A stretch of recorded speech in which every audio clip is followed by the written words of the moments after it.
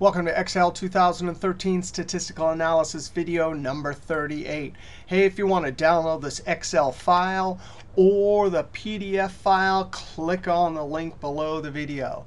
Hey, we're talking about Chapter 6, Continuous Probability Distributions, and we want to talk about the uniform distribution. Now, what in the world is a uniform distribution? Well, just imagine this histogram here. This is for test scores. 20 people got from 40 to 60 points. 15 people got 60 to 80, and 5 people got 80 to 100. Normally, the columns for a histogram are different heights. That means the count for each would be different, and the relative frequencies would be different. But now imagine this. Same categories down here, but every single category got the same count, which means it would have the same relative frequency or probability. Now let's go look over in Excel on sheet uniform 1. Here's a different picture, right? Here's all of our testing categories. 22 people got 70 to 80. 15 people got 80 to 90. But now imagine this. Exactly 10 people scored in each category. 10 categories, frequency 10 in each. That means if you calculated the probability for all of these categories, they would all be 0.10. That's a uniform distribution. Now let's go look over here on U2. Here's another example. This is the uh, calculating we'll do for waiting times for customer service. Imagine they collected all these times during peak hours, and the absolute smallest amount of time was 5 minutes all the way up to 25 minutes. But when they calculated the frequency, they're all about the same. Now remember, we're always talking about models. So this is definitely close enough to a uniform probability distribution to use the probability techniques we're going to learn for the uniform distribution. Man, look at that. Let's go back over to our PDFs. And we want to talk about geometry. Now, the uniform probability distribution, as always, all area within the range will be 1. This will be our range right here. Now, we're only talking about a certain range. All possibilities might be much bigger, but over just a certain range, we found this uniform probability distribution. And here's what will be given. We'll always have a lower and an upper. So for our service example, it was customers waiting 5 all the way up to 25 minutes on hold. So notice this is just plain geometry. The length of this side here, or the width, is going to be 25 minus 5, which is 20. Now the height is going to be, well, we'll prove what this is in just a moment. Let's scroll down here. Now, if all the area inside here is 1, that means height times width times, that's going to be equal to R1.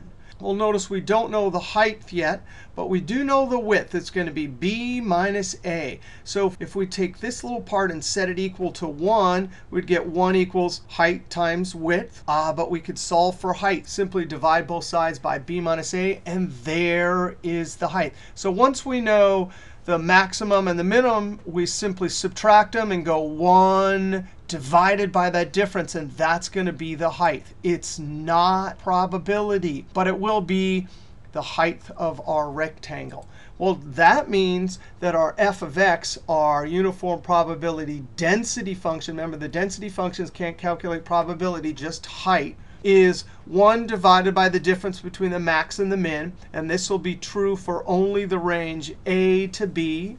Everywhere else will be 0.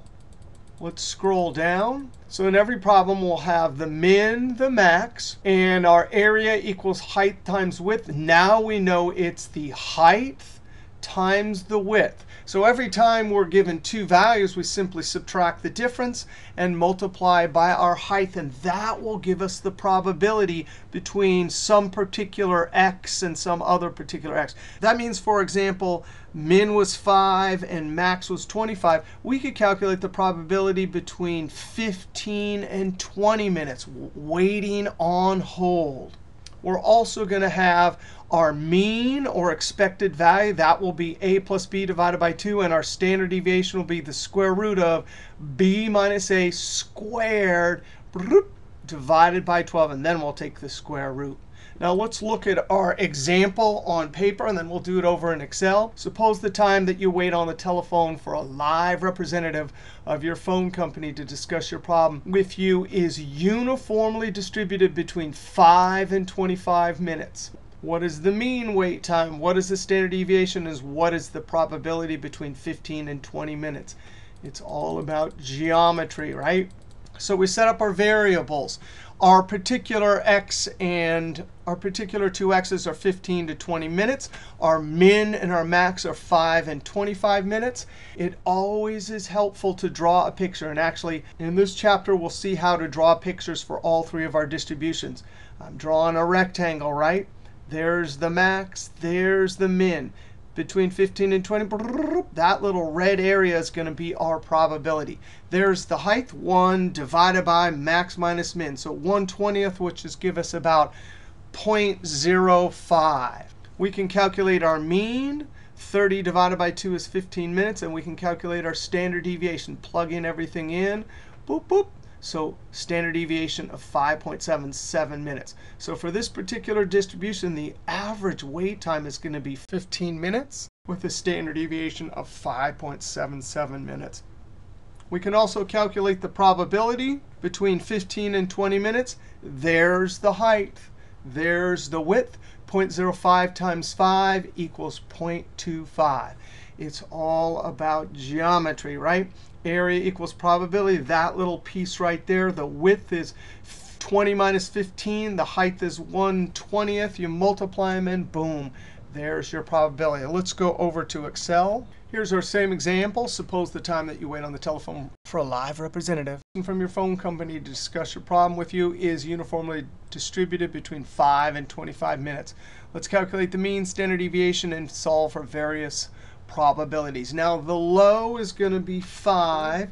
The upper is going to be 25. Our particular x will start by saying 15 to 20 minutes. Now, the key is, at least for me, is I'm going to draw pictures. So I'm going to draw a picture over here. And I'm just going to select some cells and then add some color. So this would be the outside one. I'm going to do the drop down up here and select some light color.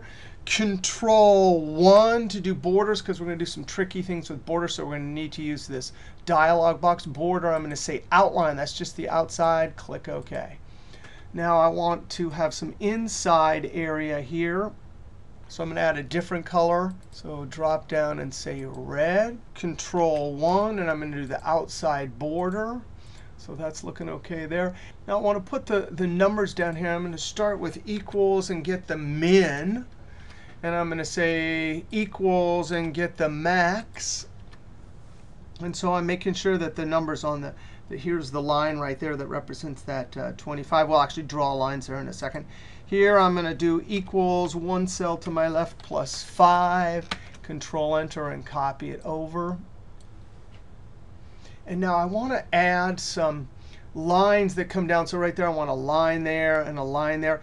Now notice that these inside lines are inside lines, but then I want one on the outside, but not on this side. So Control 1, and here's where the borders come in. We can draw them. You select your line, then your color, and I want one on the outside. This would only give me one right there, but as soon as I click inside, or you can use these buttons around here. That'll do all the inside ones. So click OK, and then click away, and there we have it.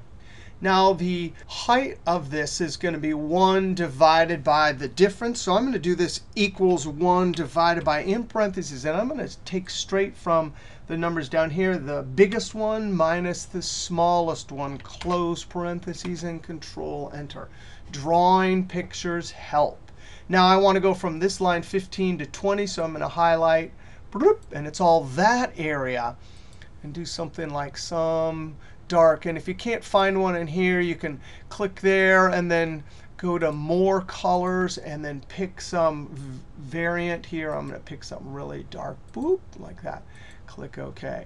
And then Control 1, and I want some border outline. Click OK.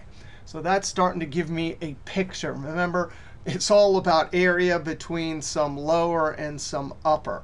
Now we can come over here.